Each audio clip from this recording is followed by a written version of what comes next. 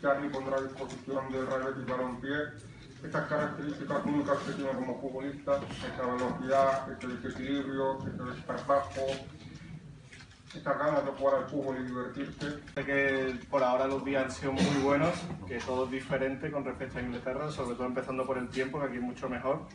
Que desde que ha llegado se ha sentido muy arropado y me ha ayudado por sus compañeros, que le han ayudado a integrarse y también por Eduardo y el presidente, que le han hecho sentir como si estuviese en casa.